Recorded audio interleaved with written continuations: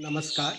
आ, मैं आज आप लोगों के साथ फिर से नए टॉपिक के साथ और नए एनर्जी के साथ आया हूँ और मैं आप लोगों से एक्सपेक्ट करता हूँ कि आप लोग भी मुझे उसी एनर्जी के साथ अपना काम थ्री मॉडल्स मुझे नए कॉन्सेप्ट के साथ नए डिज़ाइन के साथ इनोवेटिव आइडियाज़ के साथ आप मुझे प्रोवाइड करोगे दिखाओगे ताकि मैं और कुछ अच्छा नया आइडियाज़ दे सकूँ।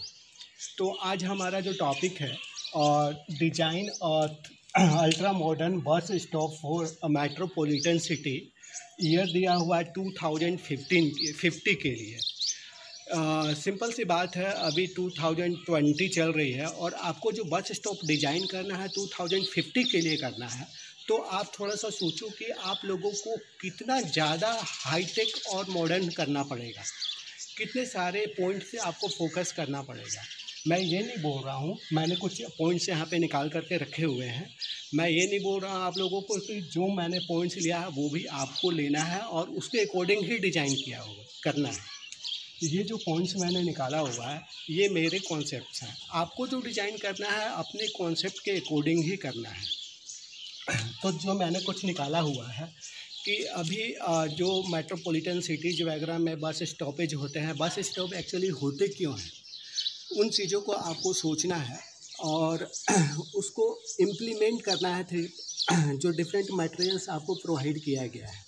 तो पहला पॉइंट जो हमारा कि बस स्टॉप पे मैप अवेलेबल होना चाहिए map map in the sense कि किसको कौन से रूट में जाना है कैसे जाना है, वो कहाँ पे स्टॉप है, वो मैप वहाँ पे बस स्टॉपेज पे ही देखे और वहाँ पे वो देखने के बाद उसे पता चल जाएगा कि वो किस प्लेस पे स्टॉप है और वहाँ से कहाँ पर जाना है और वहाँ से डिस्टेंस कितना है। सेकेंड पॉइंट है डस्टबिन हम बस स्टॉपेज पे सपोज़ वो कुछ खा रहे हैं या कुछ गार्बेज वैसा प्रोडक्ट है या कुछ भी है तो डस्टबिन होना चाहिए ताकि वहाँ पे वो गंदगी न फैला सके। वॉशरूम बस स्टॉपेज में बेसिकली लोगों को बहुत प्रॉब्लम होती है। काफ़ी टाइम तक वेट करना पड़ता है जिन्हें।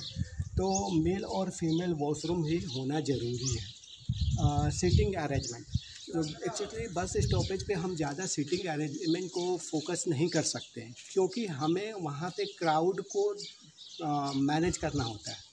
अगर हम ज़्यादा सीटिंग बैठने के लिए चेयर्स लगा देते हैं तो स्पेस कम हो जाती है और क्राउड वहाँ पे आ, आ, अच्छे से इम्प्लीमेंट नहीं हो पाता।